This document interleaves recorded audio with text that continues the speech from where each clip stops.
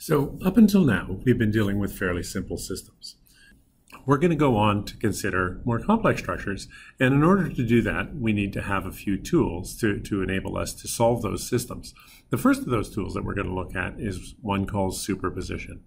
What superposition says is that for all linear systems, very important uh, caveat that this applies only to linear systems, that the net response caused by two or more loads is the sum of the responses that would have been caused by each of those loads individually.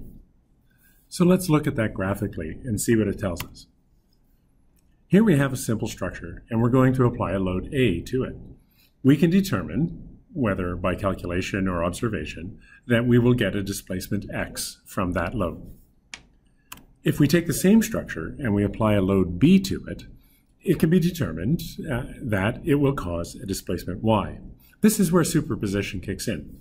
If we apply the concept of superposition, what it tells us is that if we apply the loads A and B simultaneously, i.e. the sum of load A plus B, that we will get a displacement equal to the sum of the independent displacements from loads A and B. So we get a total displacement of x plus y.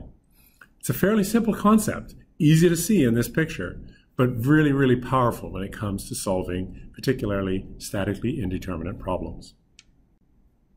So let's look and see how this works out in its detail and how powerful it can be. So what I've shown here is a tension specimen, as you would test in the lab, with a gauge length L and a cross-sectional area of A. So what we're going to do is we're going to apply a couple different loads to it independently and see the sum of those products.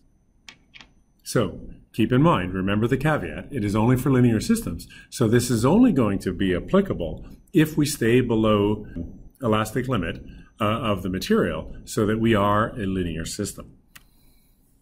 So let's start by applying a load P1. We can see the results of that load being applied. We now have a displacement applied to the specimen of delta 1 and a resulting stress and strain within the specimen shown on the graph to the right of sigma 1 and epsilon 1 for the stress and the strain. Now let's apply a load P2. Again, we can see the results uh, of that load application. It causes a further displacement, delta 2, into in the specimen, and a further stress and a further strain of sigma 2 and epsilon 2 to the material. Now we can use superposition to see these obvious calculations that the total displacement is equal to the sum of the two independent displacements, delta 1 and delta 2. Likewise, the total load is the sum of the two independent loads, so PT is equal to P1 plus P2. This should follow in its calculation that if we divide through by the cross-sectional area, we are seeing the total stress, which is a sum uh, of the two independent stresses, sigma 1 and sigma 2, which is what we have seen on the graph on the right.